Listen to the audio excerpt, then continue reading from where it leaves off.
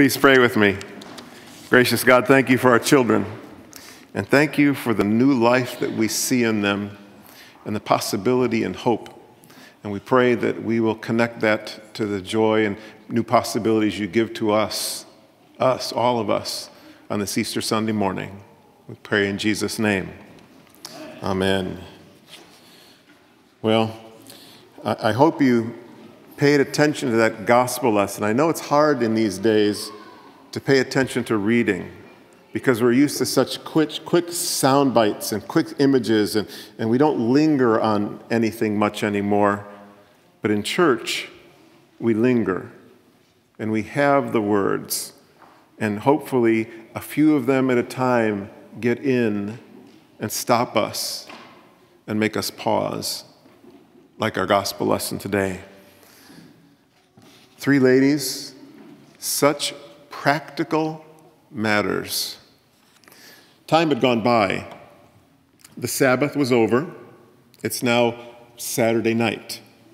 And three ladies go to buy some spices so they could anoint the body of their dead loved one. You, we can imagine them walking together to the market to make that purchase. You know that there'd be times of conversation, times of tears. There would also be some long silences and pauses as they walked because there were no words to really communicate what their loss meant to them. And there were no surprises. Everything as they expected. They arrived at the market to purchase what they needed. And in the Middle East, to this day, folks often bargain for the price that they will pay for goods. Did the ladies bargain for the price of the spices for Jesus? Were things that normal? Or did they decide ahead of time to pay whatever was asked of them? We don't know, but they got what they needed, and then they walked back home to where they were staying. And they'd walked back from a market so many times. Now we're with the ladies very early in the morning. And they're once again walking on their way to the tomb to anoint the body of Jesus with the spices they had purchased. They'd been discussing another practical matter on their way. How will we move the stone that covers the entrance to the tomb? Do you think they decided that because Salome was the strongest of the three, that she'd get behind the stone and, and push and the others be on the side and help as they could? Did they hope there'd be a gardener there to help them? Before they could finalize their plan, they looked up from their conversation and saw that the stone was already moved. It was a large stone, and even small stones covering a tomb would be hard to move. It was moved. The entrance was open. They could bend and go right in, and they did. What was a sad but probably very practical day was changing. Shopping, a normal activity. Figuring out how to manage the tasks of the day, a typical endeavor for them.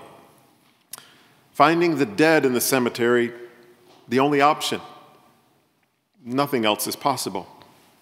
Death is common every day.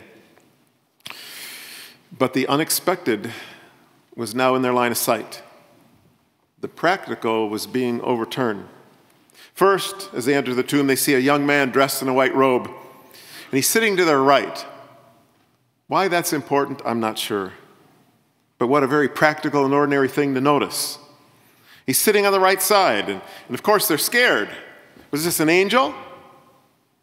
He must have been, because the first words out of his mouth were the angel words Don't be afraid.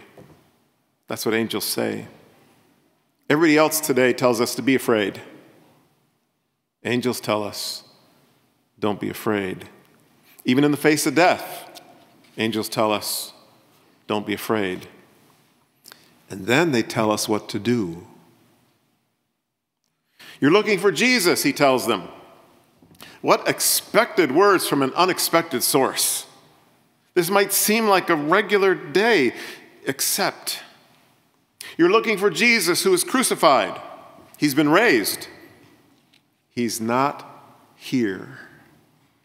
The angel points to one of the smaller openings where Jesus' body had been placed, and he invites them to look and see for themselves. We're not told if they do or not, but it's pretty easy to guess that they looked, they checked it out, and Jesus wasn't there. Then the angel tells them what to do. I bet it took a few minutes for them to, to, to shake the, the stun out of their minds and hearts. Let some of the shock wear off before they could make sense of what the angel was saying. I wonder if he had to repeat it, because if I was there, the angel would have to repeat it. Go and tell his disciples and Peter that he's going ahead of you to Galilee. You'll see him there just as he told you. Now, the out of the ordinary, the extraordinary was beginning to connect back to the ordinary because it always has to. Jesus was alive, extraordinary. Where would he meet them? Well, he would meet them back home in Galilee, normal place. And did you catch the pointed message in the angel's words? Go and tell the disciples and Peter. Well, Peter was one of the disciples. Go and tell the disciples. No, not just go tell the disciples. Go tell the disciples and Peter. Make a special point of telling Peter. Let Peter know that the one he had denied is alive and he's going to see him. Let Peter know it's okay. It's okay. failure is such a regular part of our lives, expected part of our lives. Do you think the resurrected Lord has a special place in his heart for those of us who fail? Is there a special place in his heart for those of us who have denied him? I think that's one of the most hopeful things about the good news. It's for us who fail. It's for those of us in need of forgiveness. Here we are on Easter Sunday morning, part of the three ladies' story. They're told what to do by the angel. Instead, as we read it, they exit the tomb and then run for their lives. They didn't say a word. And this is really where the Gospel of Mark, as we have it, ends. All the oldest manuscripts of the Gospel of Mark end where we ended today. They didn't say a word. The ladies are afraid and silent at this point.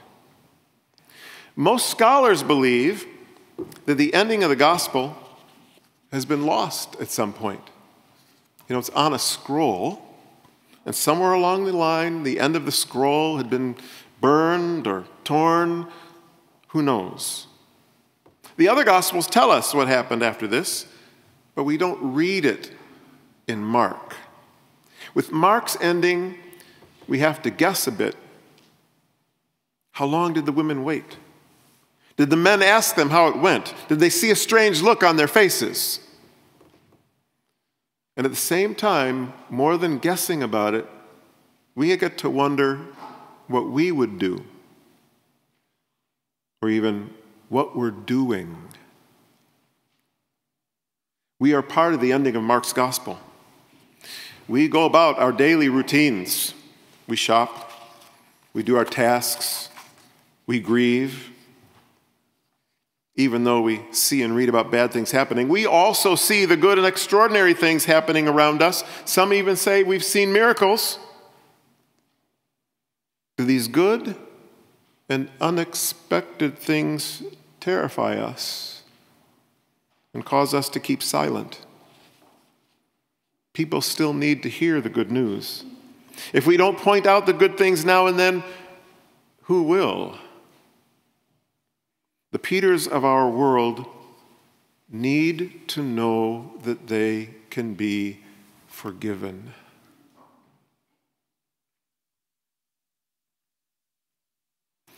Do we let him know or do we let him stew? In response to Christ's resurrection, let us not be silent about the good and the extraordinary, the resurrection of Christ and the things it means for today. Yes, you might have to enter a tomb or two. The danger is to start believing that the old and the mundane are really all there is. We walk, we drive, we work, we live, often with our heads down, unaware of how God is at work today. Lift up your heads. The power of the resurrection is still at work in our world. The disciples need to know. The world needs to know. On this Easter Sunday morning, let us shed our terror and amazement and speak the good. We are the people of the resurrection. I was taken on my way out of the 8 o'clock service this morning, doing what people normally do with the words and with the songs. We kind of let the message go like this and not pause and hear it. I want you to hear it. Christ is alive, no longer bound to distant years in Palestine. He comes to claim the here and now and conquer every place and time. Not throned above remotely high. Can you hear that? Not throned above remotely high, untouched, unmoved by human pains but daily, in the midst of life, our Savior with the Father reigns, in the midst of us. In every insult, rift, and war, where color, scorn, or wealth divide, he suffers still, yet loves the more, and lives though ever crucified. Christ is alive. His spirit burns through this and every future age till all creation lives and learns his joy, his justice, love, and praise. Amen.